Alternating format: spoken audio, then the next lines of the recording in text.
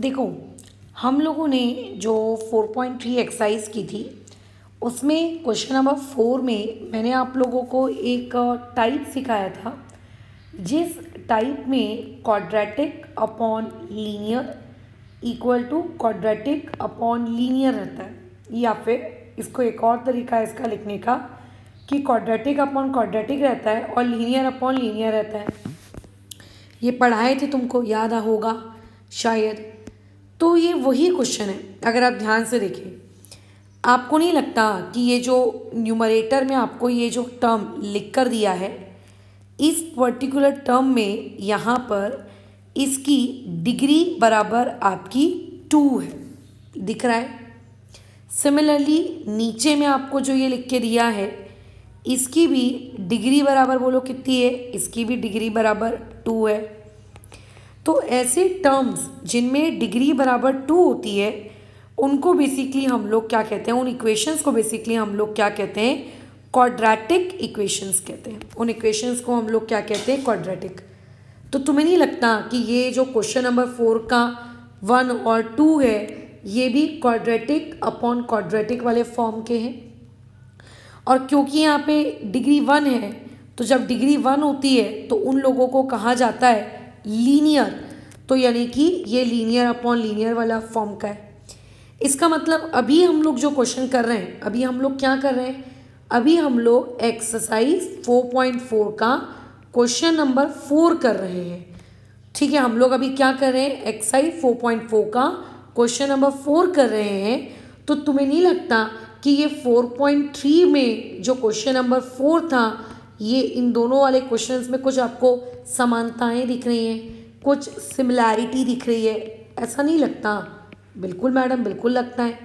तो क्या हम लोग 4.3 में जब क्वाड्रेटिक अपॉन लीनियर आता था, उसको जिस तरीके से सॉल्व करके आंसर निकालते थे, क्या उसी सेम तरीके से हम यहाँ पे भी सॉल्व करके आंसर निकाल सकते हैं क्या? तो आंसर इज़ यस आप वो सेम तरीके से आंसर निकाल सकते हो बट आपकी जो 4.3 में क्वेश्चन नंबर फोर था, वहाँ पे आप क्या यूज़ करते थे? वहाँ पे आप प्रॉपर्टीज़ यूज़ करते थे। इन्वर्टेंडो कंपोनेंडो डिविडेंडो अल्टरनेंडो फिर आप क्वेश्चन को आगे बढ़ाते थे। बट जो आपकी 4.4 एक्सरसाइज में जो क्वेश्चन नंबर फोर है, ये एग्जैक्टली ऊपर वाले के जैसा ही है मतलब प्रीवियस एक्सरसाइज के जैसा ही है। बट यहाँ पे आपको थेरम ऑफ़ इक्वल रेशो का यूज़ करना है। और थेरम ऑफ़ इक्वल रेशियो का यूज़ करके इस पर्टिकुलर क्वेश्चन को कंप्लीट करना है।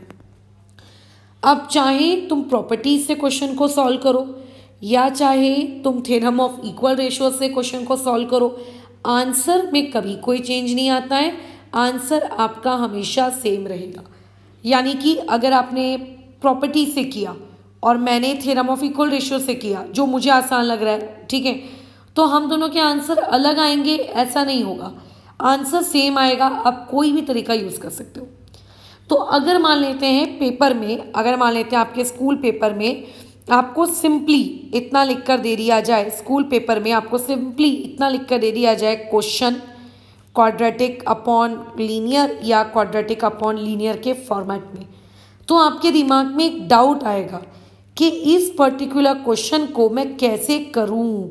मतलब इस पर्टिकुलर क्वेश्चन को मैं प्रॉपर्टीज़ लगा के सॉल्व करूँ कि इस पर्टिकुलर क्वेश्चन को मैं थेरम ऑफ़ इक्वल रेशियो से मैं इसको सॉल्व करूँ। मैं इसको सॉल्व कैसे करूँ? ये डाउट आएगा। तो अगर क्वेश्चन में कुछ नहीं लिखा है, सिर्फ़ इतना लिखा है सॉल्व तो आपको जो इजी लगता है, आप उससे कर लीजिए। सही कह रही हूँ? आपको जो इजी लगता है, आप उससे कर लीजिए। बट अगर ऐसा है कि नहीं मैडम वहाँ पे आपकी टीचर ने स्पेसिफाई किया है कि नहीं मैडम, आप तो क्या कहते हैं प्रॉपर्टी लगा के सॉल्व कर रहे हो, ठीक है? तो ऐसे केस में आप क्या करेंगे, वहाँ पर प्रॉपर्टी लगा के कहेंगे, ठीक? अगर आप थेरम ऑफ़ इक्वल रेशियो के साथ करना चाहेंगे, ठीक है? तो आप क्या है, आप उसको थेरम ऑफ़ इक्वल रेशियो से करना, जैसा क्वेश्चन में लिखा रहेगा वैसे, ठीक है? अच्छा ठीक है। तो अभी हम लोग फिर आगे बढ़ते हैं अपना। एक इंपॉर्टेंट को मैसेज है, इसका मैं रिप्लाई कर दूँ। ठीक है मैडम कोई दिक्कत नहीं है बट आप अगर रात में घर पहुँच जाएँ तो मुझे एक बार मैसेज कर दीजिएगा, साई को कहकर, ताकि उसका हम लोग आज दिन वेस्ट ना हो, उसको मैं कुछ ना कुछ अपने अकॉर्डिंग टाइम मैनेज करते हुए करवा ज़रूर लूँगी। अगर आप पहुँच जाए जल्दी तो थोड़ा लेट भी पहुँचेंगे तो भी चलेगा, फिर मैं उस टाइम के हिसाब से उसको काम दे दूँगी।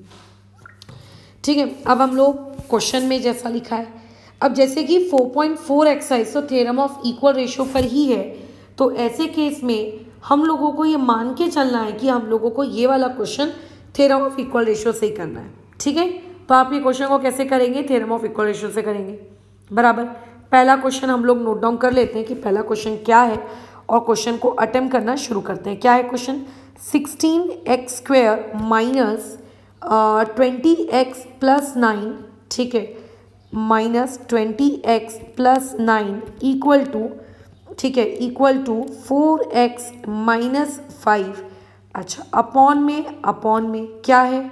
यहाँ पर है eight X square plus twelve X plus twenty one eight X square plus twelve X plus twenty one और इधर लीनियर में क्या है? टू एक्स प्लस थ्री इधर लीनियर में क्या है? टू एक्स प्लस थ्री इस क्वेश्चन को प्रॉपर्टीज़ को लगा के कैसे सॉल्व करते हैं, ये मैं आपको ऑलरेडी सिखा चुकी हूँ। आज की क्लास में मैं ये सिखा रही हूँ कि इस क्वेश्चन को अगर थेरम ऑफ़ इक्वल रेशियो से सॉल्व करना होता तो आप कैसे करते, है ना? तो आप कैसे करते, मैं ये वो मैं सिखा रही हूँ।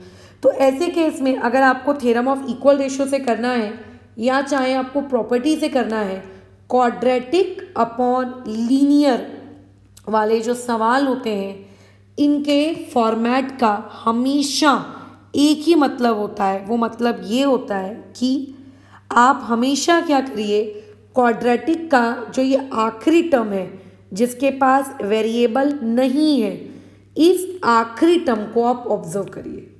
ठीक है, यहाँ पे आखिरी टर्म क्या लिखा है? नाइन यहाँ पे आखिरी टर्म क्या लिखा है? ट्वेंटी वन सिमिलरली जब आप थेरम ऑफ़ इक्वल रेशियो से कर रहे हैं तो बाजू में जो लीनियर वाला पार्ट है आप इसके भी आखिरी टर्म को ऑब्ज़र्व करिए आपने इसके भी आखिरी टर्म्स को ऑब्ज़र्व कर लिया। ठीक है, आपने इसके भी आखिरी टर्म्स को ऑब्ज़र्व कर लिया। ठीक है मैडम कर लिया।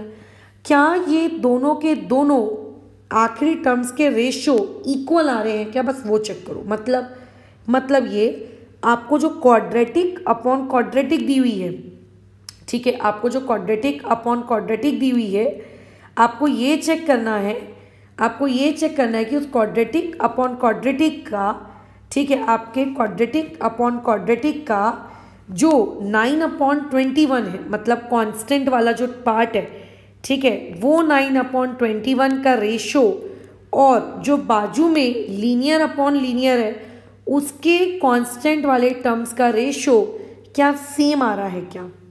ठीक है? बराबर, क्या वो सेम आ रहा है क्या? तो हमने देखा, नहीं मैडम, ये तो सेम नहीं आ रहा।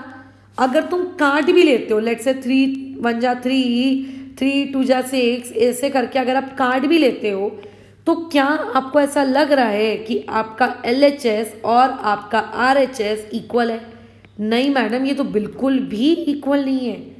तो अगर आपके कांस्टेंट जो है क्वाड्रेटिक अपॉन क्वाड्रेटिक का कांस्टेंट लीनियर अपॉन लीनियर का कांस्टेंट अगर नॉट इक्वल अगर ये लोग इक्वल नहीं है तो ऐसे केस में जो भी इस क्वेश्चन को सॉल्व करके एक्स की वैल्यू आएगी, वो एक्स की वैल्यू कभी ज़ीरो नहीं होगी। कैसा है, जब आप लोग फोर पॉइंट थ्री एक्सरसाइज करते थे ना, वहाँ लिख के देता था कि X not equal to zero चलो, अगर नहीं भी लिख के दिया, लेकिन theorem of equal ratio apply करने से पहले हमें हमेशा ये चेक करना पड़ता है कि एक्स कहीं ज़ीरो तो नहीं है। क्योंकि अगर एक्स ज़ीरो हो गया तो आप थेरम ऑफ़ इक्वल रेशियो नहीं लगाएँगे। आपको हमेशा ये चेक करना पड़ता है। तो आप चेक कैसे करेंगे? क्वाड्रेटिक अपॉन क्वाड्रेटिक में जो कांस्टेंट टर्म है, उनका रेशो वैसे ही लीनियर अपॉन लीनियर में जो कांस्टेंट टर्म्स हैं, उनका रेशो इनका रेशो जब आप लेंगे ना तो ऑटोमेटिकली आप लोगों का क्या आ जाएगा? ये नॉट इक्वल टू आएगा। और जब ये नॉट इक्वल टू आएगा, तब आप समझ जाना कि क्वेश्चन आप सॉल्व करने के लायक है। ठीक है क्वेश्चन अब ये जो है सॉल्व करने के लायक है। बट बट बट मैडम इसको हम कैसे सॉल्व करें? तो देखो, आपको पूरा का पूरा ध्यान अपनी ऑब्जर्वेशन पे लगाना है। जैसे कि यहाँ पे जो क्वाड्रेटिक है, यहाँ पे देखो क्या लिखा है? सिक्सटीन एक्स स्क्वेयर मैं चाहती हूँ कि बाजू में जो मेरी लीनियर है, इसका ये वाला टर्म वेरिएबल वाला टर्म ये भी सिक्सटीन एक्स स्क्वायर बन जाए। तो तुम मुझे एक बात बताओ अगर मैं चाहती हूँ कि मेरा वो जो बाजू वाला है, वो भी सिक्सटीन एक्स स्क्वायर बन जाए तो उसको सिक्सटीन एक्स स्क्वायर बनाने के लिए मुझे क्या करना पड़ेगा? मुझे कुछ ना कुछ नंबर से उसको मल्टीप्लाई करना पड़ेगा। है ना? सिर्फ़ उसको नहीं, पूरे के पूरे ब्रैकेट को ही मल्टीप्लाई करेंगे। क्योंकि अगर तुम सिर्फ़ फोर को मल्टीप्लाई करोगे तो फाइव बुरा मान जाएगा। हे तूने मेरे को मल्टीप्लाई नहीं किया। तो हम लोग ऐसा नहीं चाहते ना? तो किससे मल्टीप्लाई करें? सोचो। तो पहले से तो फोर एक्स है। उसको और किससे मल्टीप्लाई करेंगे? उसको मल्टीप्लाई करेंगे फोर एक्स से, ताकि four X into four X sixteen X square हो जाए। ठीक है? फिर हम लोगों ने अपॉन दिया। फिर हम लोगों ने अपॉन दिया इस तरीके से। फिर आ जाएगा आप लोगों का एट एक्स स्क्वेयर प्लस यहाँ पे twelve X plus twenty one अब तुम क्या चाहते हो? कि जो डिनोमिनेटर में जो आपका क्वाड्रेटिक है इसके पास लिखा है एट एक्स स्क्वेयर तो आप लोगों का जो बाजू वाला है, वो भी एट एक्स स्क्वायर बन जाए। तो उसको किससे मल्टीप्लाई करेंगे? सोचो, वो जो पूरा का पूरा एंटायर ब्रैकेट है टू एक्स प्लस थ्री उसको मैं कितने से मल्टीप्लाई करूँ? उसको मल्टीप्लाई करना पड़ेगा अगेन फोर एक्स से, ताकि फोर टू जा एट और X into X X square हो जाए। यानी कि इनडायरेक्टली हमने किया क्या? इनडायरेक्टली हमने ये किया कि हमने मल्टीप्लाई किया है, हमने मल्टीप्लाई किया है। क्या मल्टीप्लाई किया है? न्यूमरेटर एंड डिनोमिनेटर मैं शॉर्ट फॉर्म में लिख रही हूँ न्यूमरेटर एंड डिनोमिनेटर को। आप पूरी तरीके से फुल फॉर्म लिखेंगे।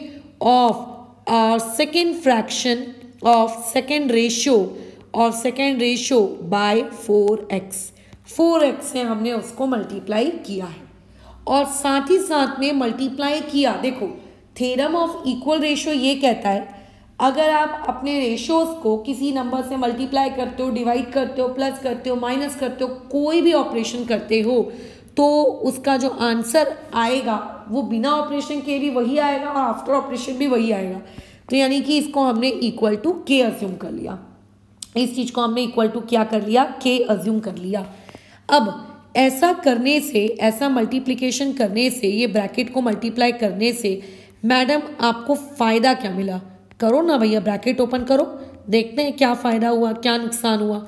तो ये ना दोनों से मल्टीप्लाई होगा, इससे भी मल्टीप्लाई होगा और इससे भी मल्टीप्लाई होगा। तो ये हो जाएगा आपका sixteen X square minus twenty X upon में यहाँ आएगा एट एक्स स्क्वेयर और यहाँ पे आएगा आपका ट्वेल्व एक्स और ये इक्वल टू के बराबर? लेकिन इतनी स्टेप करने के बाद अब हम क्या करें? तो देखो, मैंने क्या रिपीट किया? थेरम ऑफ़ इक्वल रेशो में आप रेशोज को मल्टीप्लाई कर सकते हो, आप डिवाइड कर सकते हो, आप सब कर सकते हो, जो आपको करना है आप वो कर सकते हो। अब आपके पास दो रेशो है। पहला रेशो दूसरा रेशो पहले रेशियो में आपके पास सिक्सटीन एक्स स्क्वायर है। दूसरे वाले रेशियो में भी सिक्सटीन एक्स स्क्वायर है। अब आप इन दोनों रेशियो को क्या करोगे ताकि ये दोनों सिक्सटीन एक्स स्क्वायर कट जाए? प्लस तो नहीं कर सकते। क्योंकि प्लस करेंगे तो सिक्सटीन सिक्सटीन कितना हो जाएगा? थर्टी टू तो इसीलिए अब आपको क्या करना पड़ेगा यहाँ पे? जो आपका पहला रेशियो है, उसको तो वैसे का वैसे ही लिखेंगे। लेकिन जो दूसरा रेशो है, उसको हम लोग इस तरीके से सब्ट्रैक्ट करेंगे। बराबर? और अगर ऊपर वाले न्यूमरेटर को आपने सब्ट्रैक्ट किया है तो डिनोमिनेटर को भी आपको सब्ट्रैक्ट करना पड़ेगा। और सब्ट्रैक्शन करते वक्त आप क्या करोगे? ब्रैकेट का इस्तेमाल करोगे और इक्वल टू के लगाना नहीं भूलोगे। ठीक है? चलो ठीक है मैडम, कर लिया। फिर नेक्स्ट स्टेप में क्या करो? नेक्स्ट स्टेप में यार ब्रैकेट ओपन तो करो। तो ये आएगा माइनस सिक्सटीन एक्स स्क्वायर यहाँ आ जाएगा प्लस ट्वेंटी एक्स अपॉन में आ जाएगा आप लोगों के पास। Eight X square plus twelve X plus twenty one minus eight X square minus twelve X equal to K. अब देखो हमारा फ़ायदा जो कट रहा है, काटो। ये कट गया, ये कट गया, ये कट गया, ये कट गया, ये कट गया, ये कट गया। ठीक है, ये कट गया, ये कट गया। बराबर है? अच्छा। उसके बाद अब क्या बचा? इसके बाद आपके पास बचा nine upon twenty one equal to K ख़त्म हो गया क्वेश्चन अगर आप काटना चाहते हो तो ये चीज़ आपकी कट जाएगी. ये आ जाएगा थ्री अपॉन में सेवन ये आ गया हमारे पास के का आंसर तो ये आपकी किस्मत अच्छी है कि सब कुछ कट गया. ऊपर में आप लोगों के पास सिर्फ़ नंबर नंबर बचा. ठीक है, ये आप लोगों की किस्मत अच्छी है कि आपके पास सब कुछ कट गया और आपके पास वहाँ पे एक नंबर बच्चा दैट इज़ योर के वो बेसिकली आप लोगों का क्या है के बट मैडम हमको तो के नहीं निकालना था, हमको तो के फाइंड नहीं करना था। इस क्वेश्चन की हेडिंग क्या थी? सॉल्व इस क्वेश्चन की हेडिंग क्या थी? सॉल्व इस क्वेश्चन की हेडिंग क्या थी? सॉल्व सॉल्व यानी कि हमको तो मैडम यहाँ से के की वैल्यू निकालनी थी। सॉरी एक्स की वैल्यू निकालनी थी। अब आप एक्स की वैल्यू कैसे निकालोगे? तो देखो, कैसा है, हमने, हमारे जो दो रेशोज थे, हमने इसको और इस वाले रेशो को दोनों को क्या अज्यूम किया कि दोनों रेशो किसके बराबर है? के के बराबर है। है ना? मल्टीप्लाई करने से पहले, ठीक है मल्टीप्लाई करने से पहले अच्छा मैंने पहले अज्यूम नहीं किया है क्या? ठीक है चलो पहले मैं अज्यूम कर लेती हूँ। दो मिनट को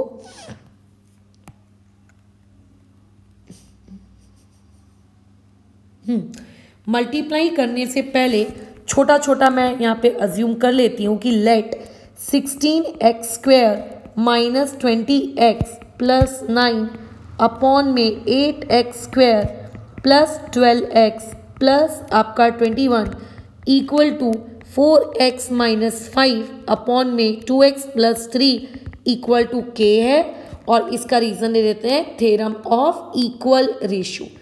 ये मैंने अज्यूम किया। इसका मतलब जो पहला वाला रेशियो है, उसकी वैल्यू भी के है। जो दूसरा वाला रेशियो है, उसकी वैल्यू भी के है।